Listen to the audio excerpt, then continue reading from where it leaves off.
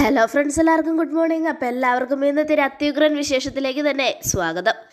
അങ്ങനെ തുടങ്ങുമ്പോൾ തന്നെ കാണിക്കുന്നത് നമ്മുടെ സരയും ഷാരിയും കൂടെ സംസാരിച്ചുകൊണ്ട് നിൽക്കുക ദേ എന്റെ അച്ഛൻ എന്ന് പറയുന്ന ആൾ കാരണം എന്റെ ഭർത്താവിന് എന്തെങ്കിലും സംഭവിച്ച വെറുതെ വിടില്ല ഞാൻ ഒരെണ്ണത്തിന്. മനസ്സിലായല്ലോ? എന്നും പറഞ്ഞ് സരയും മുകളിലേക്ക് കയറി പോവുക സരയു പോയി കഴിഞ്ഞതും ഷാരിക്ക് ആകെ പേടിയായി. ഈശ്വര മനോഹരൻ അങ്ങനെ പറ്റിയതുകൊണ്ട് സരയു പോലും ദേഷ്യത്തിലാണല്ലോ. എന്റെ ദൈവമേ ഇതിനെല്ലാത്തിനും കാരണക്കായ കാരനായത് ആ സേനന.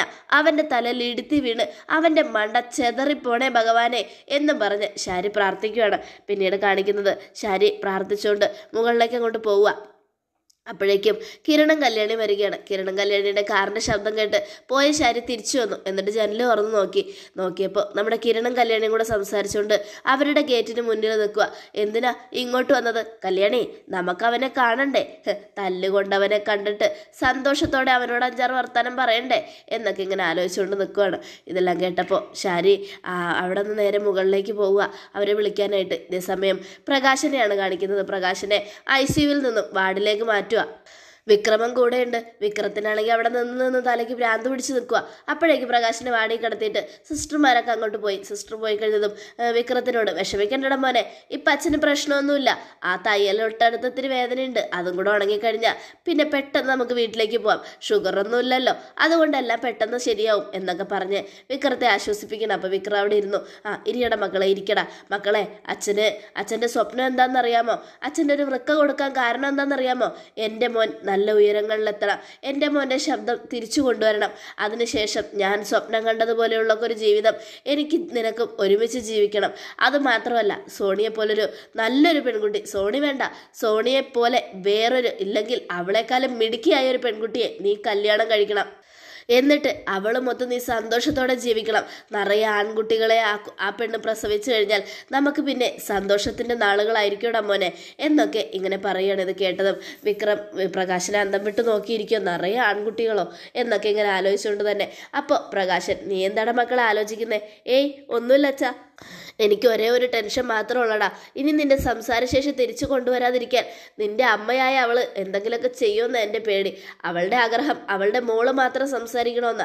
അതുകൊണ്ട് മനസ്സിന് നല്ല ടെൻഷനുണ്ട് മക്കളെ. എന്നൊക്കെ പറയുക അപ്പം നമ്മുടെ വിക്രം അച്ഛൻ ടെൻഷനൊന്നും അടിക്കണ്ട എന്നൊക്കെ പറഞ്ഞ് വിക്രം ആശ്വസിപ്പിക്കുകയാണ്. ഇതേ സമയം പിന്നീട് കാണിക്കുന്നത് നമ്മുടെ പ്രകാശനെ വിക്രവും ഇങ്ങനെ സംസാരിച്ചുകൊണ്ടിരിക്കുമ്പോൾ രതീഷ് അങ്ങോട്ട് വരിക. രതീഷ് വന്നിട്ട് ആ എടാ മക്കളെ എടാ വിക്രമേ നീ വീട്ടിലേക്ക് പോയിക്കോടാ. ഇനി നീ പോയി കുളിച്ച് ഫ്രഷ് ആയിട്ട് വാ. എന്നും പറയുക അപ്പോൾ വിക്രം പെട്ടെന്ന് ചാടി എഴുന്നേറ്റതും നമ്മുടെ പ്രകാശൻ ഏയ് ഇരിക്കിരിക്കിരിക്കി എന്റെ മോനെ എന്നെ വിട്ട് പോകാനുള്ള മനസ്സൊന്നുമില്ല.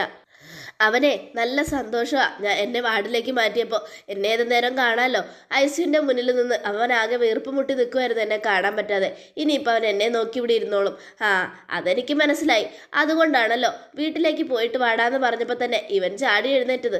ഒന്ന് പോടാ അത് നീ വന്നപ്പോൾ ഇരിക്കാൻ വേണ്ടി എന്റെ മോൻ എഴുന്നേറ്റ് തന്നായിരിക്കും. ആ എന്റെ അച്ഛ അവനാണ് എന്നോട് ആദ്യം പറഞ്ഞത് ഞാൻ വീട്ടിലേക്ക് പോയിട്ട് വരാമെന്ന് പിന്നെ ഞാനാ പറഞ്ഞത് ഞാൻ കുളിച്ച് വന്നിട്ട് നീ പോയാൽ മതിയെന്ന് ഷോ എടാ നിനക്ക് വേർക്കുന്നുണ്ടോ? അത് കേട്ടതും. അതെ അച്ഛാ ഞാൻ പോയി ഡ്രസ്സൊക്കെ ഒന്ന് മാറിയിട്ട് വരാം. എന്നാൽ ശരി മക്കൾ പോയിട്ട് വാ. അപ്പോൾ വിക്രം ശരി അച്ഛ പോയിട്ട് പെട്ടെന്ന് വരാമെന്ന് പറഞ്ഞ് അങ്ങോട്ട് പോവുകയാണ് വിക്രം. പോയി കഴിഞ്ഞതും രതീഷ് എന്റെ അച്ഛ അച്ഛൻ ഇനിയും അവനെ മനസ്സിലാക്കിയിട്ടില്ല. അച്ഛൻ സൂക്ഷിച്ചോ? എന്തായാലും അച്ഛൻ അവനെക്കുറിച്ച് മനസ്സിലാക്കും. അവനെ ഇത്രയും നേരം വീട്ടിൽ പോകണം വീട്ടിൽ പോകണമെന്ന് പറഞ്ഞ് വെപ്രാളത്തിൽ അങ്ങോട്ടും ഇങ്ങോട്ടും നടക്കുമായിരുന്നു ആ ഞാൻ പോയിട്ട് വന്നിട്ട് പോയാൽ മതി എന്ന് പറഞ്ഞുകൊണ്ടാ അവൻ അവിടെ പിടി കുത്തിയിരുന്നത്. ഇത് കേട്ടതും എന്തിനാടാ രതീഷേ? ഇപ്പോഴും നീ എന്റെ മോനെ കുറ്റം പറയണേ. അവൻ നിന്നെ ഒരു തുള്ളി പോലും കുറ്റം പറയാറില്ല. എന്നിട്ട് നീ എന്തിനാണ് അവനെ ഇങ്ങനെ കുറ്റം പറഞ്ഞുകൊണ്ട് നടക്കുന്നത് ഇതിനു വേണ്ടി അവൻ എന്ത് തെറ്റാണ് നിന്നോട് ചെയ്തത്? ഏ നിന്നെ അവൻ ദ്രോഹിച്ചിട്ടുണ്ടോ? ഇല്ല. പിന്നെ നീ എന്തിനാണ് ഇങ്ങനെയൊക്കെ ചെയ്യുന്നത്? എന്റെ അച്ഛ ഞാൻ പറയുന്നൊന്നും ഇപ്പം നിങ്ങളുടെ കാതിലേക്ക് കയറില്ല അതെന്തുകൊണ്ടാ? നിങ്ങൾക്ക് നിങ്ങളുടെ മകനോടുള്ള സ്നേഹം കൊണ്ട് പക്ഷേ എന്തായാലും ഒരു വൃക്ക മകന് വേണ്ടി കൊടുത്തല്ലോ. ഏ അപ്പോൾ അനുഭവം വരുമ്പോൾ നിങ്ങൾക്ക് എല്ലാം മനസ്സിലായിക്കോളും. എന്തായാലും സൂക്ഷിച്ചാൽ ദുഃഖിക്കണ്ട അത്രയേ ഉള്ളൂ എന്നൊക്കെ പറയുവാണ്. പിന്നീട് കാണിക്കുന്നത് സരയുനെ മനോഹറിനെയാണ് മനോഹർ ആകെ സങ്കടപ്പെട്ട് സരയുനെ ഇങ്ങനെ ചേർത്ത് പിടിക്കുക എന്താ മനുവേട്ട നല്ല വേദനയുണ്ടോ? ഏയ് വേദനയൊക്കെ ഉണ്ട് മോളെ. മരി മരിക്കുന്ന വേദനയാ. പക്ഷേ എന്റെ മോളെന്റെ അടുത്തുള്ളതുകൊണ്ട് എനിക്ക് സങ്കടമൊന്നുമില്ല. സന്തോഷമേ ഉള്ളൂ. എന്റെ മോക്ക് വേണ്ടി എത്ര തല്ലുകൊള്ളാനും ഈ മനുവേട്ടന് ഒരു പ്രശ്നവും എന്നൊക്കെ പറയാണ്. അപ്പോൾ നമ്മുടെ സരി സോറി മനുവേട്ട. ഞാൻ കാരണം മനുവേട്ടന് ഒരുപാട് വേദന സഹിക്കേണ്ടി വന്നു അല്ലേ? അത് കേട്ടത് മനോഹർ ഏയ് സാരമില്ല മോളെ എല്ലാം എന്റെ മോൾക്ക് വേണ്ടിയല്ലേ. എന്റെ സരയു മോൾ എന്റെ അടുത്തുള്ളടത്തോളം കാലം. എനിക്ക് സങ്കടമൊന്നും അത്ര വലിയ വിഷമമായിട്ട് തോന്നില്ല മോളെ എന്നൊക്കെ പറഞ്ഞ് സരയിനെ കെട്ടിപ്പിടിക്കുക. അപ്പോഴേക്ക് കിരണ്ണയും കല്യാണിയും കണ്ട ശാരി ഓടി വന്ന് കഥക് തുറക്കുക. മോളെ സരയൂ എന്നും പറഞ്ഞുകൊണ്ട് കെട്ടിപ്പിടിച്ച് നിൽക്കുന്ന സരയു പെട്ടെന്ന് ഞെട്ടിപ്പോയി. എന്താ അമ്മ ഇത്? കഥകിലൊന്ന് മുട്ടിയിട്ട് വന്നു വന്നൂടെ? ആ അതിന് കഥക് പൂട്ടിയിട്ട് വേണ്ടേ മുട്ടാൻ. വെറുതെ പൂട്ടിയിട്ട് ആരെങ്കിലും ആർക്കെങ്കിലും അറിയോ? നിങ്ങൾ ഇങ്ങനെ നിൽക്കുവാന്ന്. അപ്പം മനോഹർ സാരല്ല സരയു അമ്മയോട് എന്തിനാ ദേഷ്യപ്പെടുന്നേ? അത് കണ്ടത് അമ്മയല്ലേ മറ്റാരും അല്ലല്ലോ എന്നൊക്കെ പറയണം ആ മോനെ ഞാനിപ്പോൾ ഒരു കാര്യം പറയാൻ വന്നതാ. എന്താ അമ്മേ? ദേ ഒരുത്തൻ വന്നിട്ടുണ്ട്. ആര്? ആ കിരൺ. അവന്റെ അച്ഛൻ. എന്റെ മരുമോനെ തല്ലിയല്ലോ. അവന്റെ കവൾ കാണാൻ വേണ്ടി വന്നതായിരിക്കും അവൻ. ഒരുപക്ഷെ അവൻ പറഞ്ഞു വിട്ടിട്ട് വന്നതായിരിക്കും. അത് കേട്ടതും ആഹാ എന്നാ പിന്നെ വാ മരുവേട്ട അത് നിങ്ങളോട് ചോദിച്ചിട്ട് എന്റെ കാര്യമുള്ളൂ. വേണ്ട സറിയോ ഇനി വഴക്കിനും പ്രശ്നത്തിനൊന്നും പോകണ്ട. ഇനി എനിക്ക് വയ്യ തല്ലുകൊള്ളാൻ. ആഹാ അങ്ങനെ വിട്ടാ പറ്റില്ലല്ലോ. അവന്റെ അച്ഛൻ മനുവേട്ടനെ തല്ലിട്ടുണ്ടെങ്കിൽ അവന്റെ കാരണം ഞാൻ ഇന്ന് അടിച്ച് തകർക്കും. അവന്റെ അവന്റെ അച്ഛൻ എന്റെ എന്റെ മനുവേട്ടനെയാ ഉപദ്രവിച്ചത്. എനിക്ക് ജനിക്കാൻ പോകുന്ന എന്റെ കുഞ്ഞിന്റെ അച്ഛന് എന്തെങ്കിലും സംഭവിച്ചാ അവരോട് പ്രതികാരം ചെയ്യുന്നത് പിന്നെ ഞാനായിരിക്കും. മനുവേട്ടൻ വരുന്നില്ലെങ്കിൽ വരണ്ട. ഞാൻ അവനോട് ചോദിക്കും എന്നും പറഞ്ഞ സരയോ ശാരിയും കൊണ്ട് താഴേക്ക് ഇറങ്ങി പോവുക. അപ്പൊ ശാരി ആദ്യം ചെന്നു. കഥക് തുറന്നു. എന്താടാ? എന്താടാ നിനക്കൊക്കെ വേണ്ടത്? നിനക്ക് ഇവൾക്കൊന്നും വേറെ പണിയില്ലേ? ഏ? എന്തിനാടാ ഞങ്ങളുടെ വീട്ടുമുറ്റത്ത് വന്നൊന്ന് ഇങ്ങനെ കോളിംഗ് ബെൽ അടിക്കുന്നേ? ഞങ്ങളെ മനോഹരനെ ഒന്ന് കാണാൻ വന്നതാ. അവനെ ഒന്ന് വിളിക്ക്. അയ്യടാ എന്റെ മരുമോനെ നിങ്ങളെ കാണണ്ടെങ്കിലോ? നിങ്ങളെ പോലുള്ളവരുടെ മുഖത്ത് നോക്കിയാ എന്റെ മരുമോനെ ആകെ ടെൻഷനാവും. അതുകൊണ്ട് അവൻ നിങ്ങളുടെ മുഖത്ത് നോക്കില്ല. ആ തല്ലുകൊണ്ടതുകൊണ്ടായിരിക്കും മുഖത്തേക്ക് നോക്കാൻ പാടില്ലാത്തത്. എന്തായാലും തല്ലുകൊള്ളാനുള്ളത് കൊണ്ടല്ലോ. അവൻ ഇങ്ങനെ ഇടയ്ക്കിടയ്ക്ക് ഓരോരുത്തരുടെ കയ്യിൽ നിന്ന് കൊണ്ടില്ലെങ്കിൽ ഉറക്കം വരില്ല. അഞ്ചു വിരലും മുഖത്ത് പതിഞ്ഞിട്ടുണ്ടെന്ന് കേട്ടു. കറ സത്യമാണോ? എന്നൊക്കെ കിരൺ ചോദിക്കുന്നതായിട്ട് സരയു ഓടി വന്നിട്ട് കിരണിന്റെ ഷർട്ടിന് കുത്തിപ്പിടിക്കുക. എന്തിനാടാ? എന്തിനാടാ എന്റെ മനുവേട്ടനെ നിന്റെ അച്ഛനെ കൊണ്ട് തല്ലിച്ചത്? ഏ എന്തിനു വേണ്ടിയായിരുന്നടാ? നീ ഒറ്റൊരുത്തൻ കാരണം എന്റെ മനുവേട്ടന് ഇതൊക്കെ സംഭവിക്കുന്നത്. എന്റെ മനുവേട്ടന് എന്തെങ്കിലും സംഭവിച്ചാ നിന്നെ ഒന്നും ഞാൻ വെറുതെ വിടില്ല. പച്ചയ്ക്ക് കത്തിക്കുവിടാ എന്ന് പറയുമ്പോഴേക്കും കിരൺ സരയുടെ രണ്ട് കൈയും തട്ടി മാറ്റുക. മാറടി അങ്ങോട്ട്. നീ എന്റെ കഴുത്തിന് കുത്തിപ്പിടിച്ചാലേ തിരിച്ചു കുത്തിപ്പിടിക്കാൻ അറിയാൻ പാടില്ലഞ്ഞിട്ടല്ല. എടാ ഈ കാലടയ്ക്ക് വകയില്ലാത്തവൾക്ക് ഇത്തിരി കാശ് വന്നപ്പോൾ ഇവൾ അഹങ്കാരം പിടിച്ച് ഓരോന്ന് ചെയ്യുവല്ലേ? എന്നാലേ നോക്കിക്കോ. ഇവളെ ഇവൾ ഒറ്റൊരുത്തി കാരണം നിന്റെ ജീവിതം തകരുവടാ. നീ നോക്കിക്കോ നീ സൂക്ഷിച്ചോ എന്നൊക്കെ പറയുവാണ്. അത് കേട്ടതും എന്റെ കിരണേട്ടന്റെ ജീവിതമൊന്നും തകരാൻ പോകുന്നില്ല. തകരാൻ പോകുന്നതേ നിന്റെ ജീവിതമായിരിക്കൂടി എന്നും കേട്ടോ മോളെ. അവൾ പറഞ്ഞത് കേട്ടോ. ഞാനൂളും തലമൊക്കെ തുടങ്ങി. ദേ നിന്റെ ജീവിതം തകരുമെന്നാ ആ കല്യാണി പറയുന്നത്. അത് കേട്ടതും എന്തു പറഞ്ഞടി നീ? എന്നും പറഞ്ഞ് കല്യാണിയെ തല്ലാനായിട്ട് സരയു കയ്യോങ്ങുക ആ കയ്യെ കയറി കല്യാണി ഒന്ന് പിടിച്ചു. പിന്നെ സരയുന്റെ കൈ അങ്ങോട്ടുമില്ല ഇങ്ങോട്ടുമില്ല. ഭയങ്കര വേദന. ആ ആ എന്നുള്ള കരച്ചിൽ മാത്രമേ സരയുന്റെ കേൾക്കുന്നുള്ളൂ. വിടറി. എടി വിടാനാ പറഞ്ഞത്. എന്നും പറഞ്ഞ് ഇങ്ങനെ പറയുക അപ്പോൾ നമ്മുടെ കല്യാണി സരയുടെ കയ്യിൽ നിന്നും ഒരൊറ്റ വിടൽ കൈ ഇങ്ങനെ എന്താ പറയുക ആടി നിന്നു. കുറച്ച് നേരത്തേക്ക് സരയിന് കൈ ഇറക്കാൻ പറ്റിയില്ല. അപ്പൊ ശാരി എന്റെ മോളുടെ കൈ കയറി പിടിക്കാൻ മാത്രം വളർന്നോടി നീ. അപ്പൊ കല്യാണി "ഹ്, വേണ്ടി വന്ന കരണത്തടിക്കാനും പറ്റും. എന്താ കാണണോ? എന്നും ചോദിക്കുകയാണ്. കേട്ടോ മോളെ ഇവളുടെ അഹങ്കാരം കണ്ടോ? നിന്റെ കരണത്തടിക്കുമെന്ന് പോലും. ഓ അച്ഛനും മക്കളും മനഃപൂർവം കരുതിക്കൂട്ടി ഇറങ്ങിയിരിക്കുവാണോ?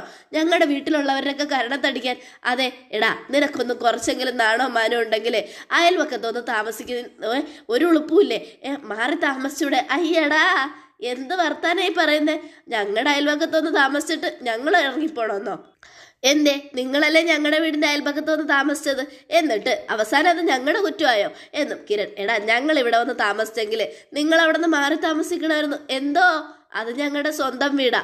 വാടകയ്ക്ക് താമസിക്കുന്നവർ മാറി താമസിച്ചാൽ നല്ലത്. എന്തായാലും ഞാൻ ഹൗസ് ഓണറെ ഒന്ന് കാണുന്നുണ്ട്. എടി സരയൂ നീ ഒന്ന് കരുതിയിരുന്നോ? ജീവിതകാലം മുഴുവനും നിനക്ക് കരഞ്ഞു തീർക്കേണ്ടി വരും. ഏ എടാ ഞങ്ങൾ ഇവിടെ താമസിക്കുന്നതിലെ ഏറ്റവും കൂടുതൽ സന്തോഷിക്കുന്ന ആരാന്നറിയാമോ? നിന്റെ അമ്മ തന്നെയാടാ. അവളാണ് ഞങ്ങളെ ഇവിടെ കൊണ്ട് താമസിപ്പിച്ചത്. അത് പിന്നെ എന്റെ അമ്മയ്ക്ക് സത്യങ്ങളൊന്നും അറിയില്ലല്ലോ. ഇനി എന്റെ അമ്മ സത്യങ്ങളൊക്കെ മനസ്സിലാക്കാനുള്ള സമയം അടുത്തു കഴിഞ്ഞു. എന്റെ അച്ഛന്റെ കൂടെ താര എന്ന് പറയുന്ന ഒരു ആന്റിയും കൂടെ വന്ന് ഇറങ്ങിയിട്ടുണ്ട്. അതുകൊണ്ട് ഇവിടെയുള്ള ഒരാളുടെ വാലിൽ തീ പിടിച്ച് നടക്കുമായിരിക്കും നടക്കട്ടെ എനിക്കതിൽ സന്തോഷമേ ഉള്ളൂ. എന്തായാലും ഇവിടെയുള്ള ഒരാളുടെ ഉറക്കം നഷ്ടപ്പെട്ട് കാണും. എടാ ആരെയൊക്കെ കൊണ്ടുവന്ന് ഇറക്കിയാലും ഞങ്ങൾക്ക് പുല്ലാടാ പുല്ല്. മര്യാദയ്ക്ക് ഇറങ്ങിപ്പോടാ. അല്ലെങ്കിലും ഇറങ്ങിപ്പോകാൻ തന്നെ വന്നത്. ഇവിടെയുള്ളവന്റെ കവൾ ചുമന്നു എന്നറിഞ്ഞു അത് കാണാൻ വേണ്ടി വന്നതാ. നമ്മൾ പറഞ്ഞതിപ്പോൾ ശരിയായില്ല അമ്മേ? ഇവരതിനു വേണ്ടി തന്നെ വന്നതാ. ഇവളെ ഇവളൊക്കെ ഒരിക്കലും ഒരിക്കലും നന്നാവില്ല. ഗുണം പിടിക്കില്ല. ഓ ആരെ നന്നാവത്തെന്നും ആര് ഗുണം പിടിക്കാത്തതെന്നും നമുക്ക് കാണാം. എന്നും പറയാം. വാ കല്യാണി. എന്നും പറഞ്ഞവർ പോകാൻ ഒരുങ്ങുമ്പോൾ നമ്മുടെ സരയു ഡാ നിക്കട അവിടെ. ദേ നീ ഇവളിപ്പോൾ ഒരുപാട് അഹങ്കാരം കാണിക്കുന്നുണ്ടല്ലോ. നീ കണ്ടോ? ഇവളെ നിന്നെ പച്ചയ്ക്ക് കത്തിക്കും. ഇവൾ നിന്നെ പച്ചയ്ക്ക് കത്തിച്ച് നീ അവസാനം ഒന്നുമില്ലാത്തവനായി മാറും. അത് കേട്ടതും കല്യാണി അതൊക്കെ നിന്റെ സ്വഭാവമാണ് എന്നും ആംഗ്യ ഭാഷയിൽ സരയുനോട് പറയുക കേട്ടില്ലേ മോളെ അവൾ പറഞ്ഞത്? അത് നിന്റെ സ്വഭാവമാണെന്ന്. എടി നമുക്ക് കാണാം ആരാരെ കത്തിക്കുമെന്ന്. ഏ നീയാടി പച്ചയ്ക്ക് നിന്ന് കത്താൻ പോകുന്നത്. നീ ഇപ്പൊ പറഞ്ഞല്ലോ അഷ്ടിക്ക് വകയില്ലാത്തവളെന്ന്. എന്നാ എന്റെ കല്യാണിയുടെ കാലക്കല്ലിൽ വീണ് കരഞ്ഞ് മാപ്പ് പറയുന്ന ഒരു ദിവസം നിനക്ക് വരുവടി. അപ്പൊ സരയു അങ്ങനെ ഒരു ദിവസം എനിക്കുണ്ടായാ ഉറപ്പായിട്ടും ഞാനന്ന് എന്നെ പച്ചയ്ക്ക് കത്തിക്കൂടാ ജീവനോടെ. എന്നാ നീ പച്ചയ്ക്ക് കത്താൻ തയ്യാറായിരുന്നോ? നീ ഇപ്പൊ തന്നെ അനുഭവിച്ചു തുടങ്ങിയടി. ഇനിയും നിന്റെ നാശം തുടങ്ങിക്കൊണ്ടേയിരിക്കുക എന്തായാലും നമുക്കത് കാത്തിരുന്ന് കാണാം. ഞങ്ങൾ അപ്പുറത്തെ വീട്ടിൽ തന്നെ ഉണ്ടല്ലോ. എന്നും പറഞ്ഞ് കല്യാണിയും കൂട്ടി കിരൺ അങ്ങോട്ട് പോയി. ഇതേ സമയം എന്താ അമ്മ അവനാ പറഞ്ഞതിന്റെ അർത്ഥം? എനിക്ക് പേടിയാവുന്നല്ലോ. എന്തിനാ മോളെ പേടിക്കുന്നത് ഏഹ് നല്ലൊരു മരുമോനുണ്ട്. എനിക്ക് നല്ലൊരു മരുമോനും നിനക്ക് നല്ലൊരു ഭർത്താവും ഒക്കെ ഉള്ളപ്പോൾ നമ്മൾ എന്തിനാ ടെൻഷൻ അടിക്കുന്നത് എനിക്കിപ്പോൾ ആകപ്പാടെ മറ്റൊരു ടെൻഷനേ ഉള്ളൂ. എന്താ? ഇനി നിന്റെ അച്ഛൻ വന്ന് കയറുമ്പോൾ ചുവന്ന കവളോടെ ആയിരിക്കോ വരുന്നതെന്ന് ഷോ എന്തൊരു കഷ്ടം ഇത്. ആ ഇവന്റെയൊക്കെ അച്ഛൻ കാരണം മനുഷ്യർക്കാർക്കും ജീവിക്കാൻ പറ്റാത്തൊരവസ്ഥയായല്ലോ. വല്ലാത്തൊരു കഷ്ടം തന്നെ എന്നൊക്കെ പറഞ്ഞ് സരി ദേഷ്യപ്പെട്ട് മുകളിലേക്ക് പോവുക. ഇതേ സമയം പിന്നീട് കാണിക്കുന്നത് കിരണിനെയും കല്യാണിയാണ്. എന്തുകൊണ്ടാ നമ്മളാ തല്ലിയെന്ന് പറയാതിരുന്നത്? ഞാനാ തല്ലിയെന്ന് പറയാനെന്നില്ലേ? അപ്പം അവളുടെ തൊലി ഒന്നും കൂടെ ഉരിഞ്ഞാനെ. ഏയ് അത് വേണ്ട കല്യാണി. നീ ആ തല്ലിയെന്ന് അറിഞ്ഞു കഴിഞ്ഞാൽ ഒരിക്കലും മനോഹറിന് പിന്നെ സരയുന്റെ മുന്നിൽ തല ഉയർത്തിപ്പിടിച്ച് നടക്കാൻ പറ്റില്ല. അവൻ അവിടെ തന്നെ വേണം. അവൻ അവിടെ ഉണ്ടെങ്കിലേ ഈ കഥയ്ക്ക് ഒരു അന്ത്യം ഉണ്ടാകൂ.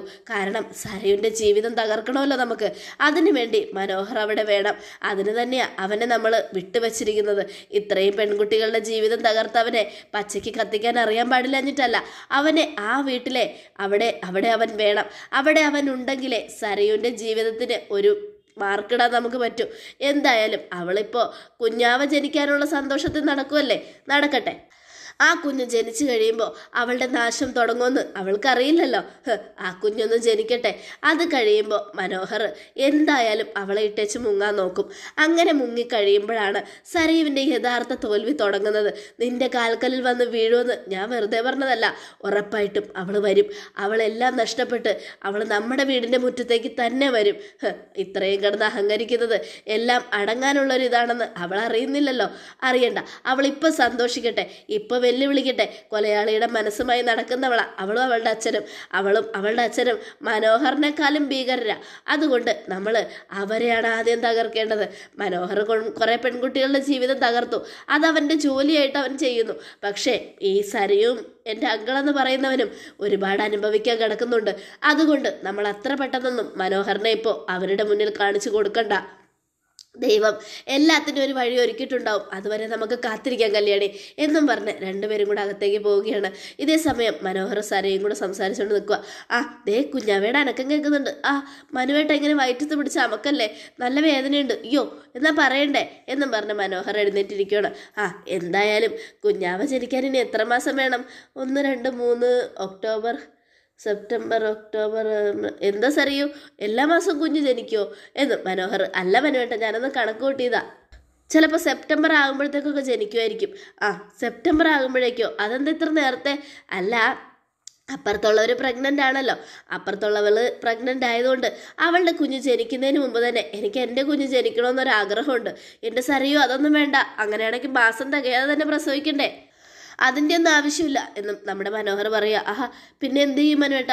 നമ്മുടെ കുഞ്ഞ് മാസം തകഞ്ഞ് നീ പ്രസവിച്ചാൽ മതി. എന്നാലേ ആരോഗ്യം ഉണ്ടാവും. എനിക്ക് ഇപ്പം മുഴുവനും ചിന്ത നമ്മുടെ കുഞ്ഞിന്റെയും നിന്റെയും കാര്യത്തിലാണ് ദേ എന്റെ കുഞ്ഞിനൊന്നും സംഭവിക്കരുത് കേട്ടോ ഈ കുഞ്ഞുള്ളതുകൊണ്ടാ എത്ര വേദന ഉണ്ടെങ്കിലും അതെല്ലാം സഹിച്ച് ഞാൻ നിൽക്കുന്നത് അത് കേട്ടതും സോറി മനുവേട്ട ഞാനത് അപ്പുറത്തുള്ളവൾ പ്രസവിക്കുന്നതിന് മുമ്പ് പ്രസവിക്കേണ്ട ആവേശത്തിൽ പറഞ്ഞു പോയതാ. സോറി എന്നൊക്കെ പറയണം. ആ സാരില്ല മോളും കുഞ്ഞാവയൊക്കെ ഉള്ളതുകൊണ്ടാ ഈ മനുവേട്ടൻ ഇത്രയൊക്കെ സഹിച്ചിരിക്കുന്നത് മനുവേട്ട ഞാനൊരു കാര്യം ചോദിച്ചാൽ മനുവേട്ടൻ വേണ്ടാന്ന് പറയരുത്. എന്താ മോളോ?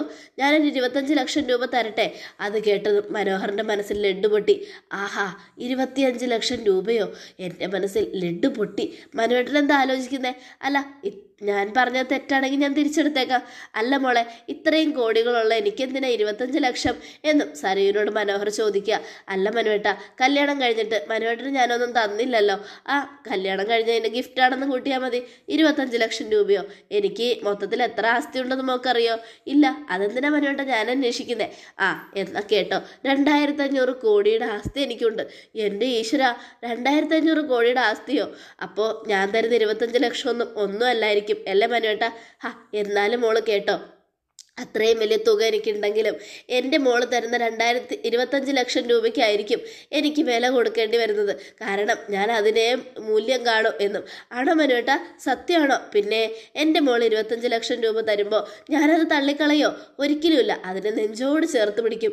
അതിനെ ഞാൻ സൂക്ഷിച്ചു വയ്ക്കും എന്നൊക്കെ പറഞ്ഞ് ഇങ്ങനെ പറയണം ഇത് കേട്ടത് നമ്മുടെ മനോഹർ. ഈശ്വര ഇരുപത്തഞ്ച് ലക്ഷം രൂപ. ഒരു ലക്ഷം എങ്ങനെ ഉണ്ടാക്കുമെന്ന് പറഞ്ഞ് നടക്കുമ്പോഴാണ് ഇവൾ എനിക്ക് ഇരുപത്തഞ്ച് ലക്ഷം രൂപ തരാൻ പോകുന്നത്. എല്ലാം ദൈവാനുഗ്രഹം. ഈ ചതിയന്റെ കൂടെ ദൈവം ഉണ്ടല്ലോ എന്ന് ഓർക്കുമ്പോഴാണ് എനിക്ക് ഒരുപാട് സന്തോഷം. അപ്പം സരയു എന്റെ ദൈവമേ ഇത്രയും നല്ലൊരു മനുഷ്യനെയാണല്ലോ ഞാനിങ്ങനെ ഓരോന്ന് പറഞ്ഞ് പറ്റിച്ചുകൊണ്ടിരിക്കുന്നത് വയറ്റിൽ തലയണയും കെട്ടിവെച്ച് കുഞ്ഞാണെന്നും പറഞ്ഞ് ആ മനുഷ്യനെ പറ്റിക്കുന്നതിലും ഒരു പരിധിയില്ലേ? എന്നൊക്കെ ഇങ്ങനെ ആലോചിക്കുകയാണ്. ഇരുപത്തഞ്ച് ലക്ഷം രൂപ കിട്ടാൻ പോകുന്നതിന്റെ സന്തോഷത്തിൽ മനോഹറും മനോഹറിനെ പറ്റിക്കുന്നതിന്റെ ദുഃഖത്തിൽ സരയും. ഇനി എന്തൊക്കെ സംഭവിക്കുമെന്ന് തീർച്ചയായിട്ടും കാത്തിരുന്ന് തന്നെ കാണാം. എല്ലാവർക്കും ഒരിക്കൽ കൂടെ നല്ലൊരു ശുഭദിനം തന്നെ ആയിക്കോട്ടെ. Thank you friends